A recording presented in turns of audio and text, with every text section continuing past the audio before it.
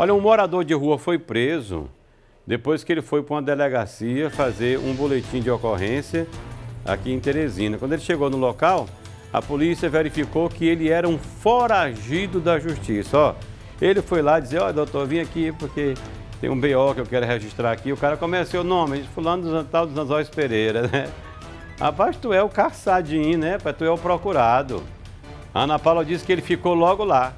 Já ficou algemado, rapaz. Foi fazer um giro, fez um giral, né?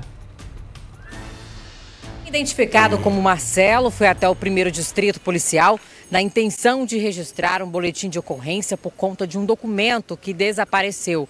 Era para ele dar entrada no Bolsa Família para receber o benefício. No entanto, ele foi surpreendido. Contra ele havia um mandado de prisão em aberto por furto e roubo. E ao invés de solucionar o seu problema para receber o benefício do Bolsa Família, ele foi parar aqui, ó, na central de flagrantes para poder cumprir a pena. Agora ele segue à disposição da justiça. Marcelo é um indivíduo que é morador de rua. Ele é da cidade de União.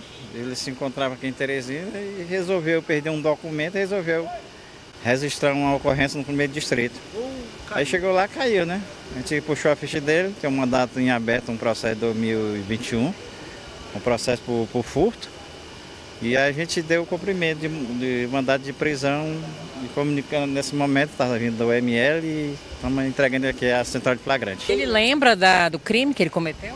Lembra, ele disse que foi um furto em 2021. Diz que, segundo ele, foi num centro espírita lá nas proximidades da Major César, numa fuga que ele fez na época e passou por lá, num centro espírita e, e furtou alguns pertences e tinha esse processo em aberto. Rapaz, o cara que tem uma ficha suja, ele tem que andar estreito, né? Aí o cara vai caçar dor de cabeça, rapaz, martelo pra cabeça, é pancada. Mas é assim, eu digo sempre que o mundo moderno ninguém se esconde mais em lugar nenhum, não se esconde. É, essas guerras aí, você, você vê como é que. Não, não, tem mais gente brigando em guerra, não. Agora é, é, é drone em cima da, do, dos países, né? Ó, se tiver uma guerra no Brasil, não adianta o pessoal botar exército em fronteira, aquele monte de gente com, com aquelas, aquele, aqueles fuzil com a, com a faca na ponta, aquilo ali é, é besteira.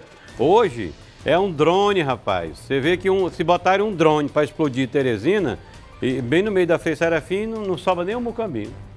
Então hoje é assim. Aí o caba hoje vai, vai, vai procurar um Bolsa Família termina é preso, né? Porque ele estava com a ficha suja, estava roubando.